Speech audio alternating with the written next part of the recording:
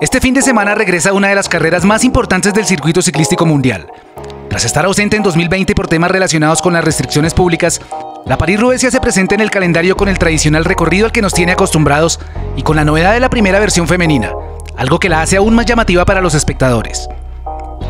La París-Roubaix, también conocida como el Infierno del Norte, se celebra anualmente desde la ciudad de Compiègne, cerca de la capital francesa, y culmina en el velódromo de Roubaix atravesando varios segmentos agrestes, incluidos algunos tramos de pavé y zonas de carretera destapada. Sumado a ello, las condiciones climáticas poco favorables comúnmente hacen que la carrera transcurra bajo la lluvia y el barro, dando un toque más de dificultad a la cita.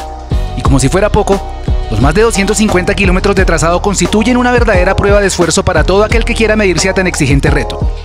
Este año hace su debut la prueba en su versión femenina, con un trazado de 117 kilómetros partiendo desde la ciudad de Denain y con llegada también en el velódromo de Roubaix. Entre las participantes se encuentra la élite de la categoría reuniendo a las más destacadas ciclistas del circuito.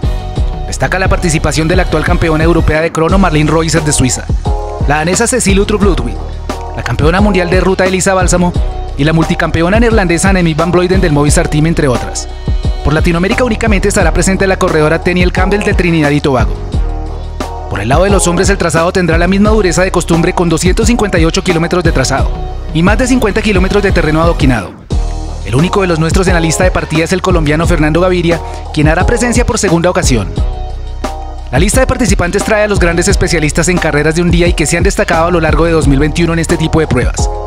Harán presencia en la línea de partida nombres como los de Philippe Gilbert, actual campeón de la prueba, Peter Sagan en su última intervención con el Bora Hansgrohe, Casper Asgreen del Quick Step, el sensacional Matthew Vanderpool por el Alpes in Phoenix, su compatriota Dylan Van de Linios, Giacomo Nizzolo del Cubeca, Arnaud de Mar del Grupama y el belga Wout buscará refrendar el favoritismo previo.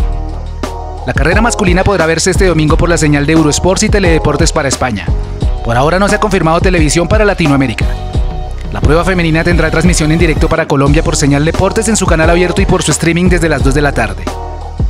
Déjanos en los comentarios quiénes son tus favoritos para ganar la carrera en ambas categorías. Para todos un gran abrazo.